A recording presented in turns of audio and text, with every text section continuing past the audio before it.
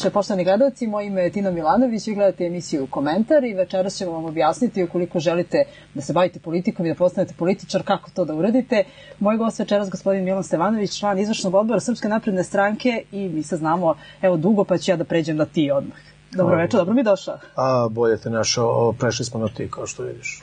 Evo, tebe ljudi iz političkog e, života, ali iz novinarskog znaju kao Pixel. Sad možeš da objasniš samo šta znači taj nadimak, evo i meni, posle toliko godina poznanstva. Pa da, dobro, nije Pixla, znači nisam igrao preferans dok sam bio mali i nije Pixi, mada sam se bavio futbolom i volao bi da sam Pixi. A Pixel je najmanja adresivna jedinica na kompjuterskom ekranu i pošto se ja dugo godina bavio 3D kompjuterskom animacijom, on sam dobio taj nadimak koji mi je ostao skoro do kraja života, koji će uskoro biti, neće biti kraj, nego ne znam koliko će traja, ali Pixel tu stoji. Dobro, to je firma koja je 1999. godine ovaj, pokrenuta, je tako, koja se bavila kompjuterskom animacijom, to je bilo tada revolucionarno. Skoro da ste u pravu, 10 godina ranije, 1989. je osnovano. A, 89. Pixel, 92. smo dobili već jedno od svetskih nagrada, radili smo špicu dnevnika, gde smo uneli prvi neke inovacije u 3D kompjuterskoj animaciji.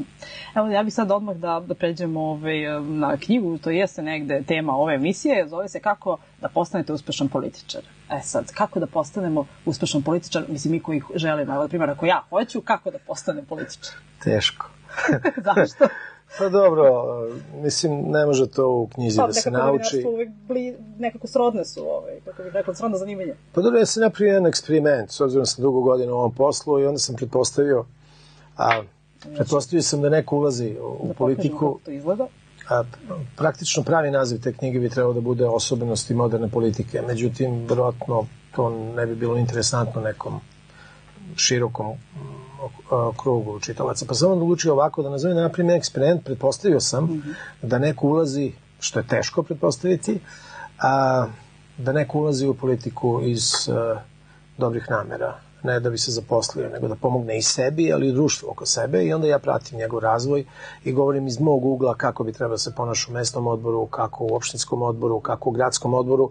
Otprilike govorim kako izgleda jedan život nekog ko se ozbiljno bavi politikom iz unutrašnjeg, iz, ajde da kažem, iz insajderskog ugla. To je jedan deo, prvi deo knjige se time bavi i ono, ja ga polako napređujem, što u realnom životu nije tako, i upozoravam ga na sve stvari koje će i probleme koje će imati u toku svoje karijere.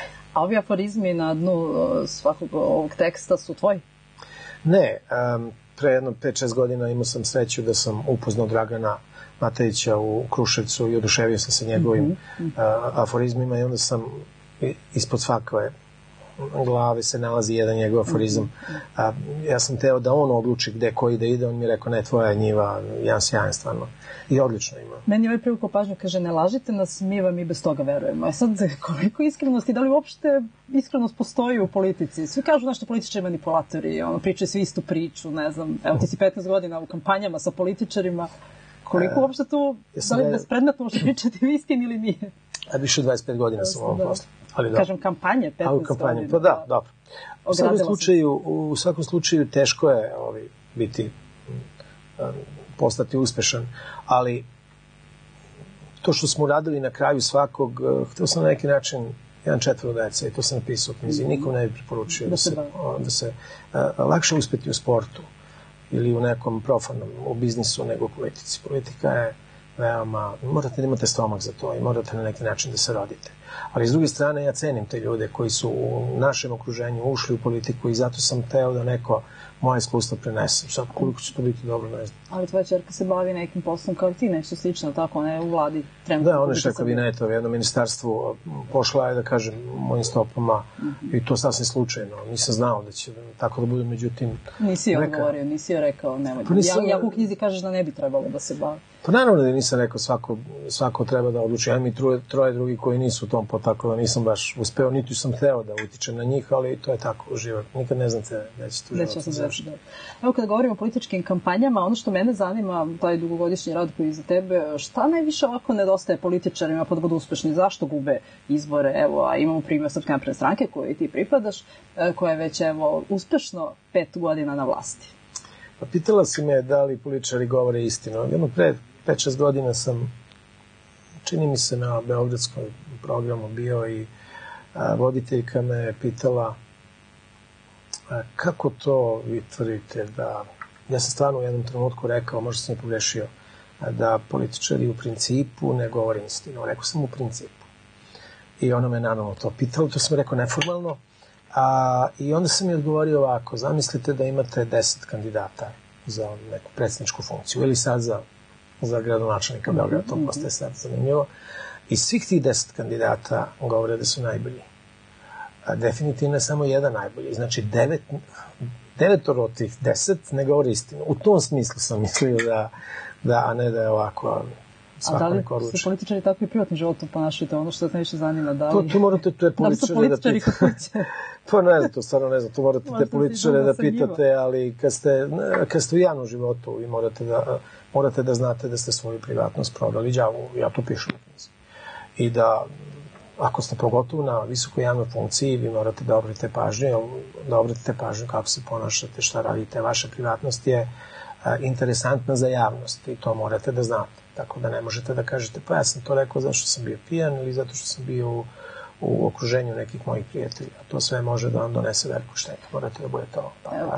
Evo još jedno, ovaj, da razbijemo ovako jedno mišljenje koje vlada kod određenog broja ljudi, kaže nema čime da se bavi, pa onda krene da se bavi politikom. Ili ljudi koji nisu obrazovani, koji nisu završili kakve škole, pa je da se bavi politikom. To, videli smo da to nije slučaj.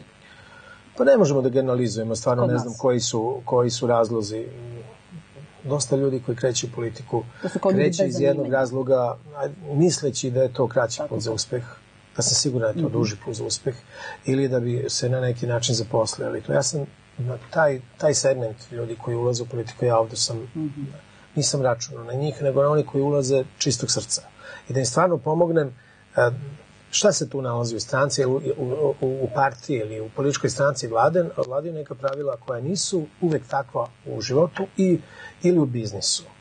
A, stranka je prvo dobrovoljna organizacija, tako da moje, mnogo mojih kolega koje trenira strugoću a, i živi svoje živote tako ne shvataju da smo mi svi u istim bojama i da smo dobrovoljno ušli ovde i a, smanjuju moć ili uticaj motivacije i donose odluke sa svojom kako da kažem, sa snagom svoje funkcije, a ne sa snagom svog autoriteta koji dobijaju svojim znanjem i svojim radom. Ja znam da političari traže od tebe savet često i koliko je tu sujete i koliko se nekad ljute kad im iskreno kažeš da je greši. A tu, tu morate biti pažljivi.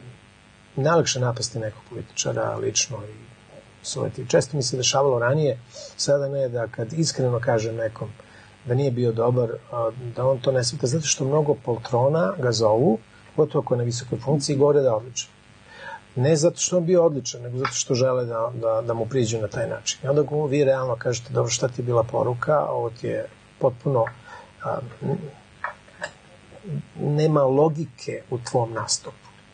Ovo si rekao na početku, ovo si rekao na kraju, nema mesa između, ili toliko neki stvari koje sad da ne elaboriramo, da ne bude dosadno, ovaj, onda oni to mali broj političara samo to shvati kao dobro nameren savjet, da bi napredalo. A to je kao u futbolu, ako naučite na početku da dobro primate loptu i da dobro dajete loptu, onda možete raditi taktički. Ako to ne znate, celog života ćete hramati na to. Danas je jedan dnevni list objavio, kaže, Đilas je pripremio 10 miliona evra za kampanju Beogradsku. I sad, koliko je novac uopšte bitan u kampanji? Da nisu bitnije ideje? To je neko moje mišljenje, pa evo ti me razuveri ako pa, greši. Pa to sam napisao u prošloj knjizi. Napisao sam je 96. Kako pobediti na izborima, tako? Da, ovaj, da, kako pobediti na izborima, da postoje četiri resursa u svakoj kampanji, ali da novac nije najvažniji, apsolutno novac nije najvažniji. Naravno da je bitan, ne možete bez novca da stavite, ali on nije najvažniji, najvažniji su ljudi. Najvažniji kandidat. Ako kandidat ima harizmu i ako on vuče napred i ako je pogodio tačno to biračko telo kojima se obraća. Ja sam 2004. godine vodio kampanju predsjedničkom kandidatu Bogoljubu Kariću. Mm -hmm. I on je tačno znao kome se obraća. Ne mora on da zna sve padeže, ali on se obraćao tim ljudima kojima to nije bilo bitno i zato je napravio takav uspeh. Evo mnoge mladi današnji političari koji su na e, bitnim funkcijama, među njima su i predsednici opština, ti si ih obučavao i jedno kad smo razgovarali, rekao si mi jako je bitno da se oni edukuju i dalje, da čitaju.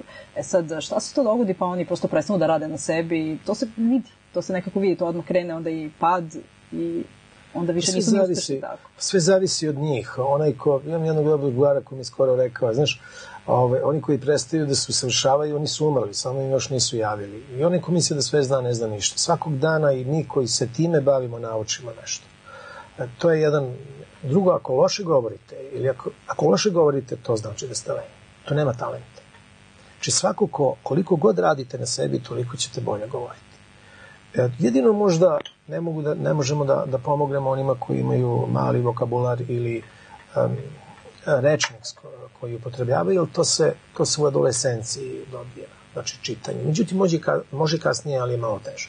U svakom slučaju, sve ostalo, ponašanje, um, ritmika, uh, ovo što ja sad radim, neformalne, uh, neformalno pokreti, sve, sve to što ulazi u osnovno ugovorništvo ili način dokazivanja, korišćenje raznih stilskih figura, kako ćete da krenete, da li ćete da krenete naglo, kako ćete da završite, da li želite kratko, kako se pripremate, to je jedna mogu da kažem nauka, ali jedan ozbiljan, ozbiljan zanat. Ali taj neki vizualni identitet, rekla bih i kako izgledaju kada se pojave prosto. Pa dobro, mislim da to nije toliko važno. Na neko poslednje ljudi... mesto, ali važno. Da. Pa dobro, mislim da kad bi sad gledali političare, oni su prosečno lepi, ili ja da kažem, da ne kažem prosečno ružni. Dobro, ja sam mislila obučeni, pristojni, mislim da govorim ovde o lepoti. pa, to je naravno, relativno šta je kome lepota. Pa naravno, naravno da treba da budu prilagodivi da ne odu u neko selo u najskupljem mogućem modelu ili obrnuto ili da se ne obraćaju na akademskom Dok skupu. Dok rotacija, tako selo. Da, nećemo, ovaj, nećemo to. Mi smo već rekli ovaj, da je jednostavnost, negde iskrenost, nešto što, što ovako krasi dobro političara, pa da li se recimo predsednik Jose Muhika, je to mi pade na pamet, može nazvati uspešnim političarem, on je stalno čeka, ne znam, u domu zdravlja sa svojim ovaj, građanima, ponaša se najnormalnije, vozi se prevozom. Ili, ili ni to nije dobar recept. Pa da dobro, sve zavisi u okruženju, u nekoj državi je to potpuno normalno da se tako ponašamo. Nisam siguran da bi, da bi naše biračko telo to baš tako shvatilo. I ne mogu da zamislim, na primjer, Putina da to uradi, jer to je bio to, jednostavno, i, i ljudi to ne, ne očekuju od njega, oni čak možda očekuju da on bude dobro čuvan ili veoma bitan. Na tome tu morate da procenite da li je to demagogija ili je to ono što u ostalom, ako vi to želite, ako se tako osjećate najbolje i mislite da šaljete mm. tako najbolju poruku, to radite. Međutim, ako to gumatate, mm. samo da bi to, to onda, znate, ne možete sve vreme sve ljude da varate. Morate da shvatite da to ne može. Evo ja bih volila jedan tvoj komentar, predsjednik Vučić je jedan redki koji je stalno sa građanima i stalno građanima saopštava šta radi, dakle nema nikakvih laži, brevare kao što je bilo ranije sa predsjednicima, pa evo jedan tvoj komentar, da li je on po tebi primjer dobrog političara u Srbiji? Možda jedinog, kako da kažem. Pa teško je u mom predstavniku da govorim. Dobro, naravno sve da bolje, ali baš iskreno, da jedan ovako ovaj, naravno, mislim da on stvarno radi dobro svoj posao zahvaljujući njemu je ovakav, najviše zahvaljujući njemu, to svi mhm. znaju, ovakav rating. Uh, I ne samo da on uh, mnogo radi, uh, on ima odlične rezultate. I to naš narod vidi. I to je tačka. I nestaje, ima jasnu viziju i ti rezultati nisu zato što on lepo izgleda ili mhm. ima lepe naočare, nego zato što mnogo radi i to se jednostavno vidi. I zato on ima takav rating, zato Srpska napredna stranka takav rating imamo i mi koji smo eto tu u njegovom okruženju. Ne, ti si od moramo da ga... od 2012. na prve, ali tako? Da, pa da, naravno, ali, ali dobro, ovaj, stvarno, ja govorim o, o sebi, treba da ga stignemo i, i radimo makar jedan deo da mu pomognemo u tome što on radi. Ja se trudim da u mom poslu budem apsolutni profesionalac i da pomognem. Mi imamo 600.000 članova. Mm -hmm. Sad zamislite, pošto sam ja i šef centra za edukaciju. O tome ćemo da...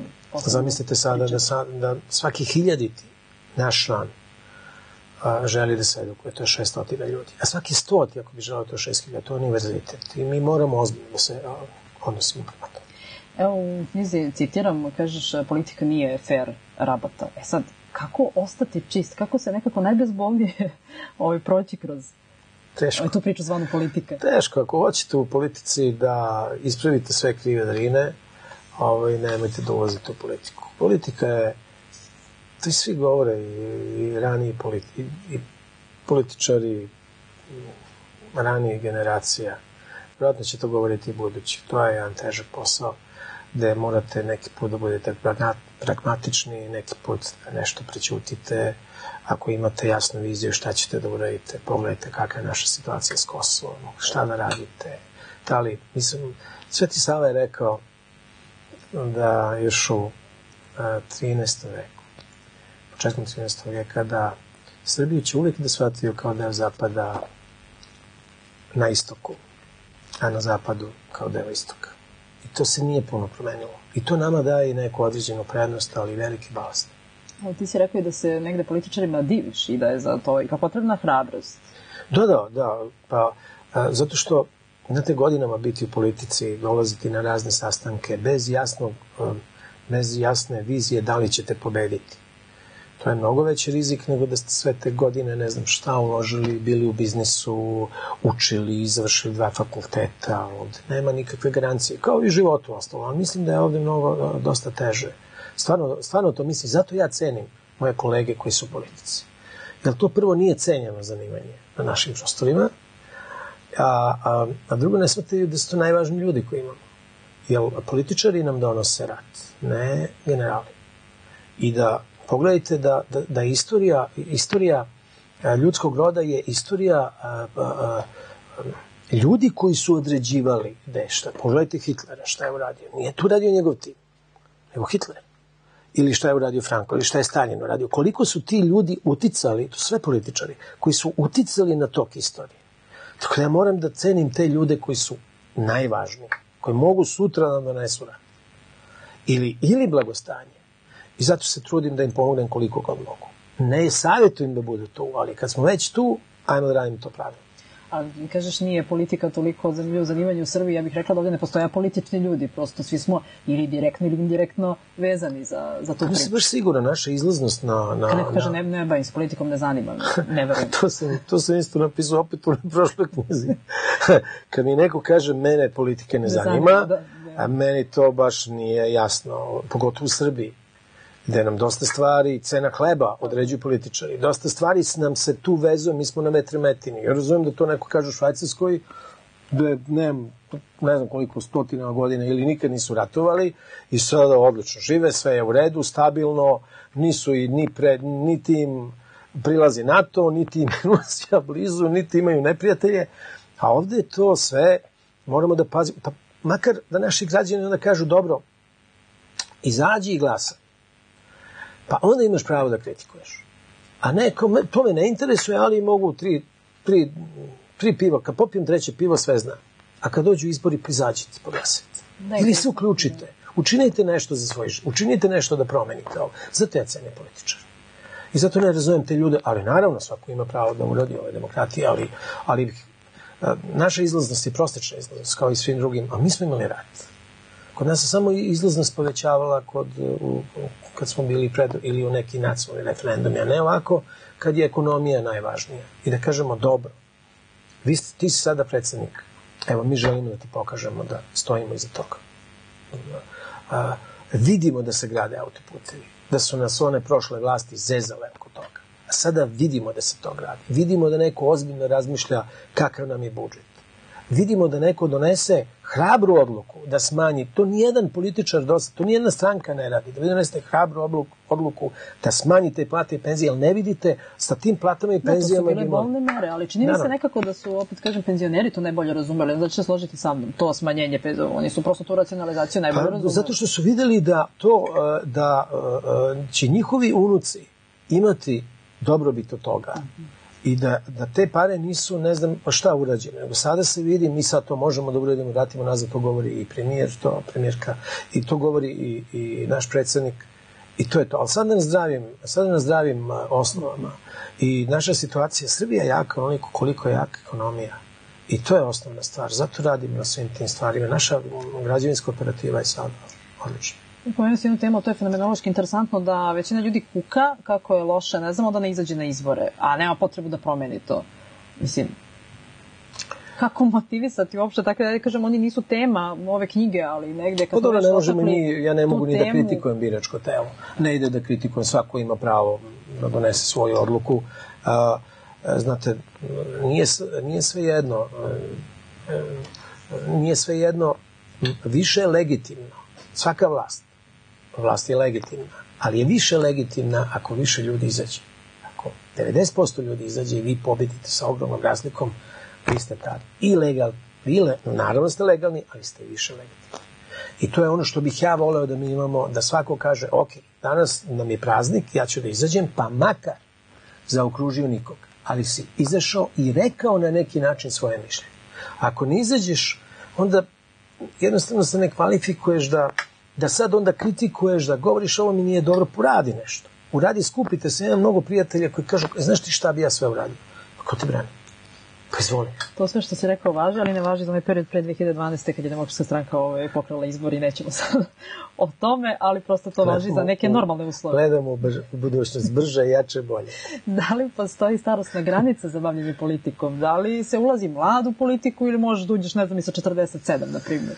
Pa na zapadu Reagan, znate, kad je ušao u politiku i on je bio jedan od ostao legenda a, američke konzervativne stranke kad su ga pitali kako to da je sad a veliki republikanaca bio u mladosti vatreni demokrata, rekao je sazvio se. Nikad nije kasno.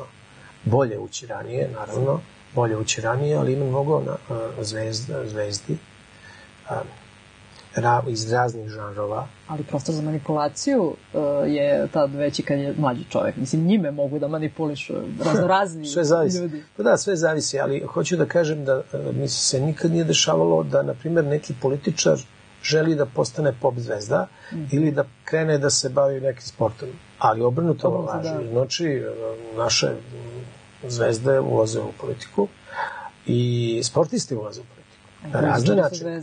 Ove, ovaj, da a, ali obrnuto ne važi. Znači, čini mi se da je ta vlast, ja sam to u, u ovoj knjizi na početku napisao, da je ta vlast uh, jedan kamen, ta vlast, zna želje za vlašće menja vode i ona je, ona vuče generacije napred. Da li su obećanja političara najkrizavi teren, neko mesto gde, gde neke građani istječu i gube poverenje? Da li se sa tim treba voditi posebno računa kada nešto obećaš pa da. da to i uradi? E, pa da, naravno. Ovi, ali u političkoj kampanji dosta stvari je dozvoljeno i obično građani možda malo i zaborave šta se tu sve dešavalo. Drugo, vi ne možete da izađete i ako kažete, ako ne budete nekako uočljivi sa tim što pričate, da li je to napad, da li je to, neće vas niko zapamtiti, onda morate tu da budete. Ja nikad ne savjetujem, kad, ja nikad ne savjetujem na mog kandidata da se bavi drugim kandidatima, nego da govori ono što će onda uradi, da promoviše sebe. Međutim, biračko telo odlično reaguje na te napade. Američka predsjednička kampanja je sada više bila okrenuta tome šta Trump govori Clintonovoj i Clintonovo Trumpu, nego šta će oni da uradi. Znači, jedan i drugi izborni štab više se bavio drugim, a, drugim kandidatom nego što se bavio svojim kandidatom i očekladno biračko telo to razume i voli da čuje kad ovaj napadne kaže ti si ovo radio ovo, i onda sad očekuje, ajde sad njima je to zanimljivo, ali... Da, oni su pitanje... imali program, a ovde recimo kod nas imali smo situaciju da predsjednički kandidati nisu imali program, većina. Pa, pa su samo zasnivali svoju politiku na... Ove, Meni je bilo bitno da naš predsjednički kandidat ima odličan program i uopšte mi nije interesovalo. To je nama bila prednost, a oni treba se baviti time. Njihov glavni program bio napad na... I to je bila najveća greška pa meni napad na, na ovu, mislili su tako, tako da će podignu sebe, a kad bi ih čovjek pitao, ja sam bio narodni poslanik i stvarno sam slušao veoma pažljivo šta govori opozicijani poslanici i osim a, kritizerstva, stvarno nisam vidio da, vi, da neko ima viziju šta tu treba da se uradi, osim puke želje za opet da dođe na vlast. Meni se dopao jedan naslov ovde koji glasi ko radi ne boji se građana. Kako to, šta to znači u prevodu i kako to u praksi izgleda? pa u prevodu znači, e, tačno znači e, ko radi ne boji se građana, kad bih preveo. A šta će građani da urade u suprotno? pa zato što, ako, znate, ako vi ste predstavnik neke opštine XY je bitno i ako razumete građane, ako ste zajedno s građanima, razumete probleme, rešavate, da, dobro, Jeste, tako je. ovaj, a, I ako ste vi stalno tu, vi onda nemate nikakav problem. Možete da sedite opšteno. Uvek tu ima nek... Pazite, uvek će biti nezadovoljnih. I nije ideja da svi budu za to niko ne može da uradi. Ideja je da većina građana budu zadovoljna i da vi imate bolju situaciju. Kad ste došli na vlast? Kad bolju situaciju sada nego kad ste vi došli na vlast. I to je za mene jedini relevantni primjer. A to možda uradite samo ako mnogo radite i ako ste zgrađeni, ako znate probleme, ne da se vi bavite nekim vašim problemima. Jedna naša velika stranka, opozicijona je propala. Sve što se više bavila problemima Četnika i Partizana, a oni su uglavnom na onom svetu, a ne na ovom svetu sad, i time su se bavili rešavanjem, nisu se bavili budućnost. Mislim, s onim što nas čeka. Ja sam se iznenadila kad sam pročitala da je harizma u stvari najvažnija osobina političara, a tek na posljednjem mestu se stavio organizacija. Znači da je harizma nekih 80% posla. Da se pojavi, kaže, kad uđe u prostoriju, vi znate da je došao. Pa nisam stavio organizaciju na posljednje mesto, nego na četvrto mesto. Što je od tih ja četiri bila na... Ako sam ja pogrešna, ima mnogo drugih harizma, govor, vizija i organizacija. Jeste, ali hoću da kažem da ima i dalje još, ovo su prve četiri. One su negdje Tako da je, one su najbitnije. Ali od tih najbitnijih organizacija na poslednje mesto. pa eto, tačno, to je tačno. Zašto? Ali, pa to je moja, ja sam, dok sam pisao ovo, ja nisam konsultovao aktualnu političku literaturu na svetu, to sam da to bude originalno. Ja tako mislim. Mm -hmm. To ne znači da je to potpuno tačno. Ovo nije matematika. Da je a na kvadrat plus b na kvadrat jednako c na kvadrat. Možda će neko drugi da kaže a nije, nije to što si ti rekao, ovo je. Nemam nikakav problem s I, ali samo nek argumentuje zašto. Ja takvo iskustvo imam i bio sam s jednim kandidatom u kampanji i radili smo po ceo dan. Ja nikako nisam mogao da objasnim zbog čega ujutru dođemo, radimo, ne znam, do 3 ujutru i u 7 sati ceo štab orani. On, ja to drugčije nisam mogao da objasnim, nego njegu, nje, on je stavio neki oreo. Među, I kada on nešto kaže, nekako je zato sam to stavio, jer sam to proživeo. Pa interesantno si završio prirodno-matematički fakultet, a nisi se držao ovde preciznosti, pa izlaziš pa, iz tih okvira jako nije, interesantno. Ne, zato što on nije eksplicitna nauka. Zato što sam ja dao definiciju političke kampanje da je to prenos poruke biračkom telu. Nisam još čuo nigde da je neko rekao, pa to nisi u pravu. Ja sam matematičar, I kad sam knjigu pisao, razmišljao sam o mojim profesorima koji su odlični logističari i kako će oni to da shvate, kako sam ja gradio poziciju, kako sam sve to dokazivao. I sve sam tu na neki način dokazivao da mi sutra moj profesor iz, ne znam... Skroz proračuna to u skladu sa da, fakultetom. ali se bavite naukom koja nije eksplicitna. I dosta stvari tu nije... To je moje mišljenje o tome. Mm -hmm. To ne znači, ja nemam monopol nad istinom. I ti ko na ovom svetu imamo. Samo možda ima malo više iskustva to si lepo rekao, niko nema monopol nad istinom, to ću da zapamtim i mogu i da zapišem, a mogu to. i da ovako potrebim pa ću te potpisati. Ovako. Pa dobro, ne. Možeš, možeš, mogli bi da platite. I da platite, to ćemo se dogovoriti posle emisije. Da. Zanima me samo gde budući političari da kupe knjigu. A ovi knjiga, da, možete da je kupite nigde. Znači ona nije u prodaji, e, ja ovako više delim i dajem našim aktivistima koji su to zaslužili, baš volim da podelim ovaj, sad sam bio ovde u, u Staroj Pazovi, uh mhm. -huh. simpatična frizerka, pričala mi jedno 20 minuta, razne stvari, potpuno iskreno, I Hoće ja sam da dao... I ubedio se da hoće da, da treba da bude političan. Pa ovo je tako, kao vi ste tako zanimljivi, zanimljivi, kaže, ovo pročitajte knjigu, možda to nije tako. Ja sam teo da, da nešto ostane iza toga, iza toga što smo mi radili, jer kad sam 91. godine ušao u opozicijalni politički blok, nismo imali nikakvu literaturu i mi smo se tu snalazili. To je jedan omaž svom vremenu. Tako, I onda, sam, I onda sam tu radio sutra kad neko uđe da ima neku osnovu. Mm -hmm. Na, ja mu toplo preporučujem da ne čita samo to, nego da čita sve što mu padne, pa neko on razmišlja šta je tu dobro, šta je tu loše. Machiavellija, na primjer, i ostalo. I tih naših prijatelja. Naravno. E, evo da pređemo sad, pošto privodimo emisiju kraju i na temu Centra za edukaciju Srpske napredne stranke. E, ako sam dobro sad, pošto vidim ispravljaš me stalno oko nekih cifara i oko reči, 145 odbora, je li tako? Da. U kojima ovaj, vršiš edukaciju i kako to izgleda? Samo da kažem ukratko i da li se među njima već prepoznaje neki budući harizmatični ja politički? Ja sam posetio 145 odbora u, u, u mhm. našoj kresničkoj mm -hmm. kampanji, ali to je bilo potrebno i dobio sam nalog predsednika tu radim. Ovi, ne radim, ne bi mogao fizički da radim često. Zamislite da, znači, a, u najboljem slučaju mogo bi jedan godišnje da, da posetim u najboljem Dobro, slučaju. Ali ovo do sada što je urađeno, pošto pa, pratim na Facebooku šta se dešava i vidim da su komentari svi pozitivni. I prosto obožavaju te tamo, gde god odeš. Pa dobro nije pitanje, nego ideja je da, da mi pomognemo tim ljudima, mi se dobro pripremimo i nemamo pravo da oduzijemo vreme tim ljudima. I radimo evaluacije na više, znači ocena našeg rada na više nivoa, svakog pitam kako vam je on zgleda, šta i, i trudimo se da a stvarno se time ozbiljno bavimo da naši aktivisti budu u centru pažnje, a ne da je profesor u centru pažnje i da što više probudimo njihovu kreativnost i da oni počnu da razmišljaju prvo da li je ovo tačno što mi govorimo, drugo da rade na sebi. I tako da su te radionice uglavnom interaktivne i oni su uključeni. Sada smo uh, radili a, u Ovo sad više... Mislim, nedavno i Pirotu, koliko sam videla, da, da smo i Pirotu. Da je najodgovornijih ovaj, I radili smo u Novom Sadu, to je poslednja edukacija da smo bili, tri i po sata. Da sam im na početku rekao da ćemo da radimo tri i po sata, vjerojatno svi zaglavili na vrata, međutim, pošto su oni radili, i jedan drugog ispravljali i predstavljali se, to je njima jednostavno bilo zanimljivo. I onda se mi trudimo da budemo, da njima to koristi, da bude edukativno za njih i da uradimo sve što je moguće da oni imaju maksimalni benefit u kratkom vremenskom periodu. I da li se pojavio neko sa harizmom, nekom nevjerovatnom do sada, ovo što si vidio, tih pa naravno, mladih političara? Pa naravno, jedan, jedan od stvari koje mi radimo na neki način e, selektujemo kadrove, ali ne kao političku školu u Kumrovcu, nego mi tu snimimo ko je tu, ko je tu zanimljiv, pa ga onda pozovemo na neka možda malo veći seminar i budemo tu pažljivi, da ne misli sad da to nešto mnogo znači, zašto mladi političari su ali, kvarljiva roba, morate da budete pažljivi, pa ga onda malo ogurnete u neku kampanju, danete mu, pa ga snimate kako to radi, kakav je, kako se, kako napreduje, ali nije nam to glavni prioritet. Glavni prioritet nam je da podignemo nivo političkog rada naših poslanika, odbornika, aktivista.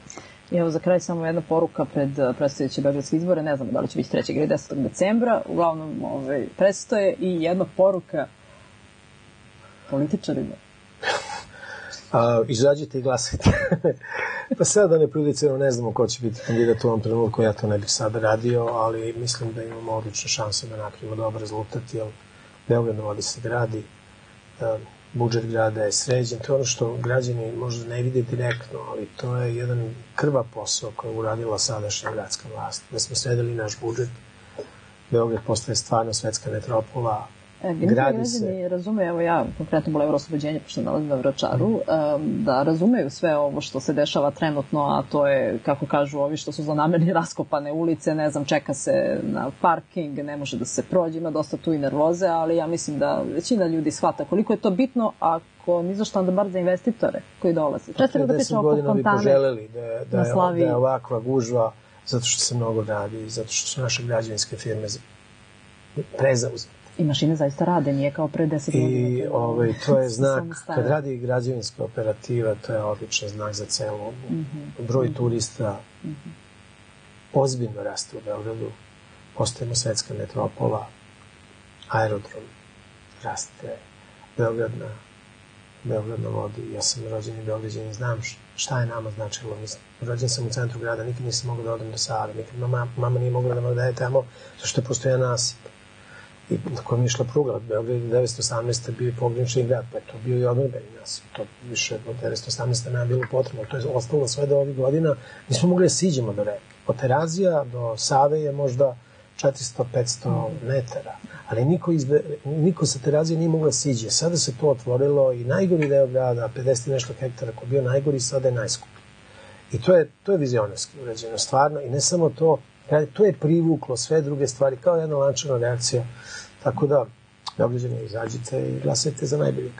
Hvala ti puno što si bio moj gost. E, vidimo se, nadam se, i u toku ove gradskih izbora u Beogradu. A, da, posle pobede.